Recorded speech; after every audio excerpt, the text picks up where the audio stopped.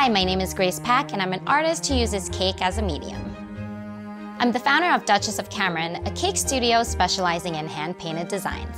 My works have appeared on multiple TV shows and publications, and I've also collaborated with artist Jeff Koons as well as various luxury brands. Moreover, I've received recognition and awards from industry leaders like Wedding Wire and The Knot. My baked goods combine my background in neuroscience and both culinary and fine arts with the satisfaction of contributing to the most important days of people's lives.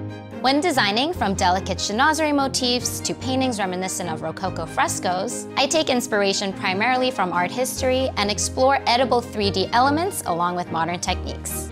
My favorite moment of this process, seeing my pieces get destroyed. In this Domestika course, you'll learn how to design and paint a fondant-covered cake. For the final project, you'll decorate a multi-tiered faux version. First, we will go through the materials needed and workspace preparation.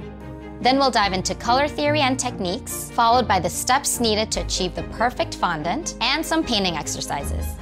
Once we have the theory down, we'll talk about gathering inspiration and sketching ideas, focusing on composition and layout.